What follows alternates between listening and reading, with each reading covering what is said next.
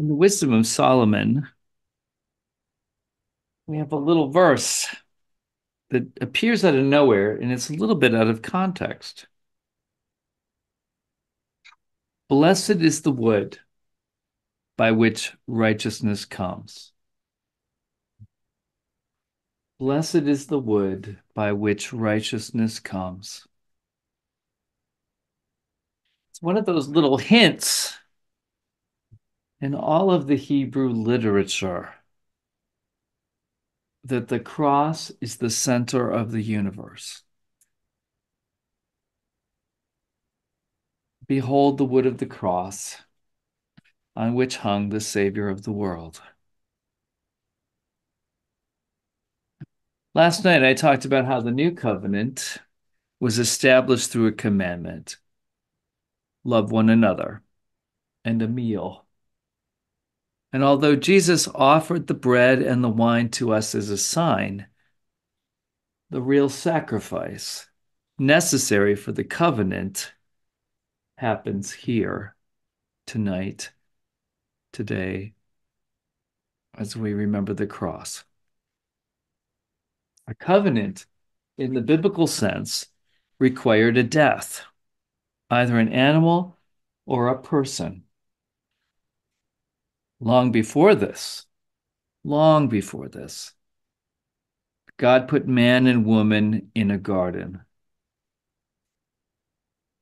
And it was good.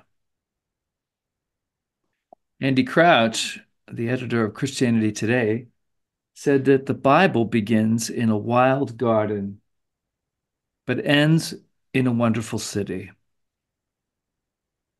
The Bible goes from good to extraordinary. Our trouble is we read the Bible from Genesis 3 to Revelation 19. We go from bad to worse, from the fall to the judgment. And so we develop this tendency, and you see it all over the place, of wanting to go back to the garden where things were once good. And this takes all kinds of forms. We're cursed with the backward glance, just like Lot's wife. Mm-hmm. Wanting to go back to the garden, wanting to go back to the book of Acts. For some, wanting to go back to Calvin's Geneva. For others, going back to Byzantium. For still others, wanting to go back to Wesley's preaching on the streets and for some of us, heaven help us, we want to go back to Egypt. All the while, the Father is leading us forward. The Psalms say that the Lord leads us with his eye. The Lord is leading us forward with a forward glance. God is always calling us to move forward to something better. Jesus came to establish a kingdom. And in the House of Prayer in Boston, more than 10 years ago, the Lord gave me this little phrase the kingdom is always advancing, never retreating.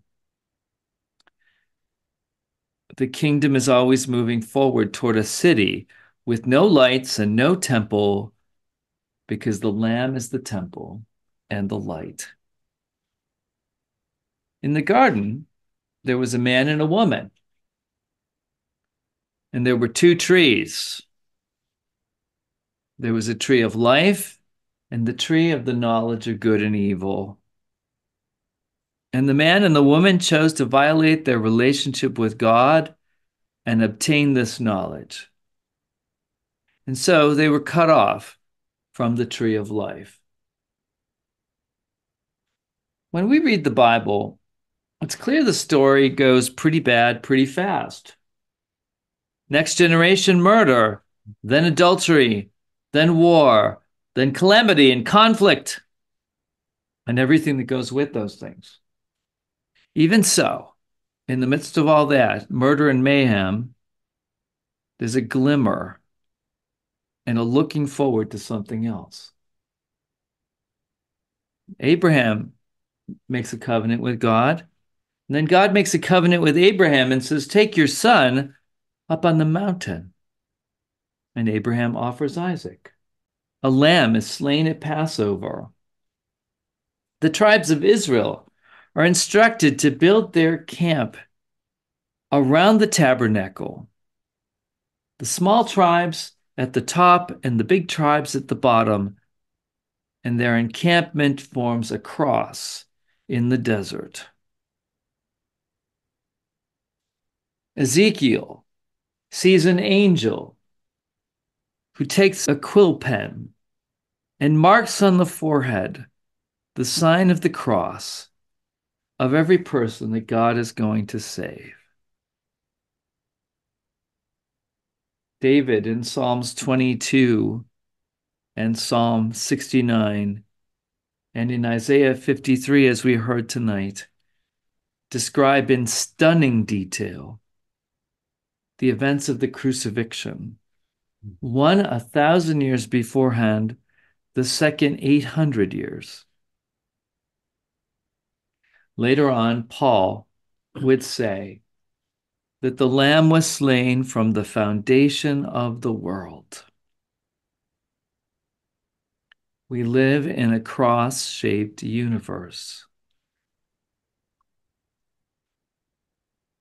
And Throughout the life of Jesus, as the events of the Gospels move forward, the kingdom advanced until this point. And the point was we find ourselves again in a garden. We're in a wild garden again. Only this time, the garden is not very nice. This is not any place anyone would want to get back to. It's hell on earth where men are tortured and people behave worse than beasts. And in the middle of this garden is a tree. It's the tree of the knowledge of good and evil.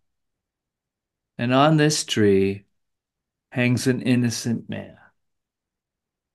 And near this tree, just like in the garden before, there's a man and a woman and Jesus looks down and he calls the her woman, the woman there, woman with a capital W.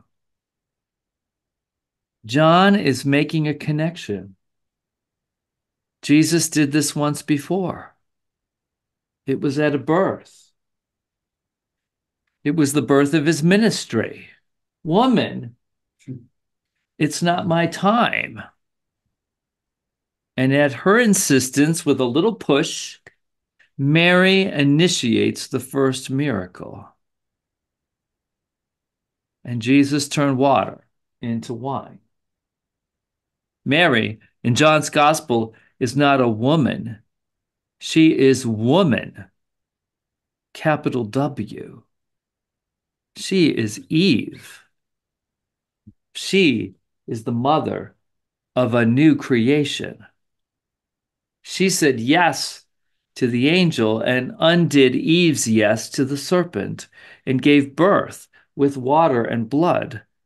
She gave birth to the ministry of Jesus by turning water into the blood of the grape. And now she is here standing at the foot of the cross, and we're waiting for another birth. And now Jesus looks down at her and John and he says, Woman capital W, behold your son. Eve was the mother of all the living, and Mary is now the mother of all the redeemed. And he looks at John, the one who will be entrusted with imparting to the next generation, after the apostles, everything that Jesus taught them in private. And he says, Behold your mother. John is now family. He's not just a follower, he's family. John is now adopted into the family of David, the family of Jesus, the family of his new creation. And then Jesus dies. And at this moment, a soldier takes a lance and he pierces the side of Jesus. And once again, blood and water flows. And out of the temple of his body, the container of the Holy Spirit, the container is rent. And at that moment, the curtain in the temple, the Holy of Holies, is torn. And the dwelling of God is now with men. With water and blood, the Spirit of God is released. And at this moment, the new covenant is ratified, and Mary and John are sprinkled with water and with blood. Just like Moses sprinkled the people and the book of the covenant and the vessels of the tabernacle with water and blood. These two are the first born of the new creation. They are baptized and washed in the blood. They are the new temple, the new people of Israel, the new family of God, and they will be among the first to be filled with the same Spirit that filled Jesus. The Holy Spirit that left Adam and Eve is now released from Jesus, the new Adam, to Mary, the new Eve, who stands next to the open side of Jesus just like the open side of Adam, where God took a rib and made Eve, and they together embrace a new adopted son. And that son is beloved. That's his name, John, beloved. God so loved the world that he gave his only begotten Son, that whosoever believes in him should not perish but have eternal life. John was the son not born by natural means, but by water and the blood and the Spirit.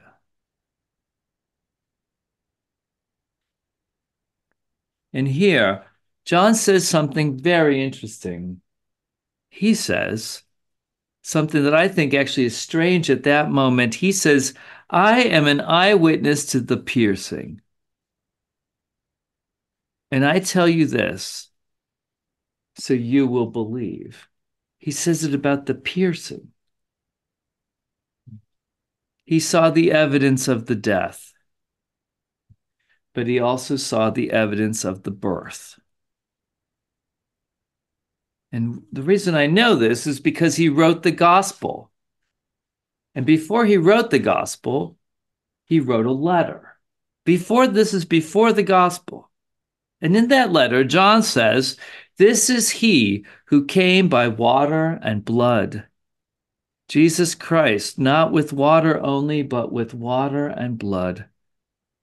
And the Spirit is the witness, because the Spirit is the truth. These are the three witnesses the Spirit, the water, and the blood. And they all agree. That's from 1 John chapter 5. John witnessed the birth of the church. And in that moment, we are in a garden again. This time, there's not a sexual connection between the man and the woman. This connection is between a mother and a son. This relationship is family and adoption and wholeness this covenant is ratified, the power of the Holy Spirit is released. It's a new covenant. We're not left as orphans. But the Holy Spirit in us, as Jesus promised, because of this birth, will make it possible for all of us who come to Him to be born again by water and the Holy Spirit this water and this blood will bring us into connection with the Father. This tree that was the source of death, the tree of injustice and accusation, the tree of cursing, the tree of abandonment, of nakedness and shame, the tree of bitterness, this tree in the garden, the tree of the knowledge of good and evil, has now become the tree of life. Blessed is the wood by which righteousness comes.